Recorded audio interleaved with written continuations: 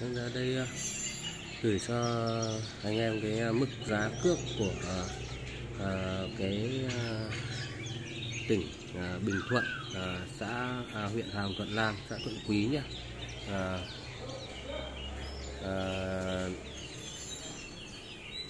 thôn Thuận Cường uh, xã Thuận Quý huyện Hàm Thuận Nam tỉnh Bình Thuận. Vâng nếu như mà cái cám uh, uh, chuyển khoản trước rồi thì uh, à, đây nó có cái à, dịch vụ à, rẻ nhất rẻ nhất à, cho mọi người đó là 25.000 25.000 đây. Đấy là cái à, khi mà à, nhận hàng tại nhà với cái giá 1 à, kg.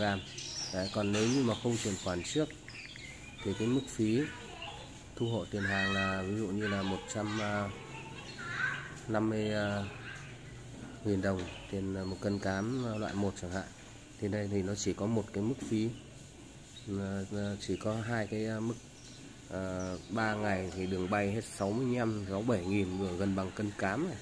Đây và cái mức à, thứ hai là cái mức à, thấp nhất là 4 ngày là hết 40 nghìn. Đấy là nếu như mà mình à, nhận hàng thanh toán đấy là tổng đơn à, là hết à, 190 000 là mất 40 000 tiền phí ship.